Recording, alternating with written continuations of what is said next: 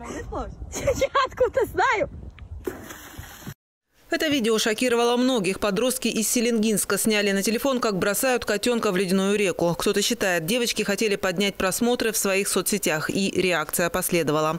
Правда, не в том контексте. Первыми отреагировали правоохранительные органы. Кошка является домашним питомцем одной из несовершеннолетних. Семьи характеризуются положительно, на учетах не состоят. Обе несовершеннолетние будут поставлены на профилактический учет. Материалы будут направлены в административную комиссию Кабанского района для рассмотрения. В течение полугода с ними будет работать психолог и сотрудники отдела по делам несовершеннолетних. И это лишь малая часть наказания, что пришлась на долю подростков. Это не дети, а изверги. Закон бумеранга никто не отменял. Все вернется. Детей в ту же воду, их родителей в шахту на два года. И это выборка самых мягких комментариев. Сотни людей поспешили озвучить свое мнение во всех соцсетях. Ушат негатива обрушился на авторов видео. Такая травля со стороны общества повергла в шок родителей девочек. Мать одной из них обратилась к комментаторам. Девочки сожалеют о содеянном. Вину дочери не оправдываю, но не могу сдержать слез. В поселке началась настоящая травля. Постоянно звонят с посторонних номеров, на улице сыплются оскорбления. Дочь пришлось увезти в город. Очень переживаю за нее. Людям жалко животное, но плевать на чувства их семьи.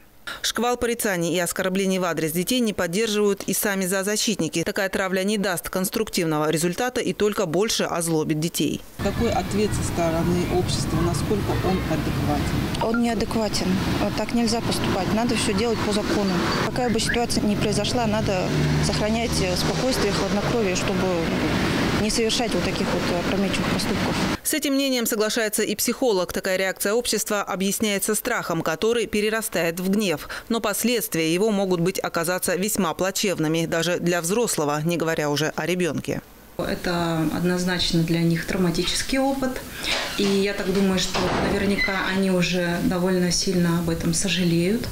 И, э, естественно, что теперь, возможно, с их, э, ну, там, не знаю, э, самооценкой будут проблемы. Понятно, что ничего хорошего в том, что они сделали, нет.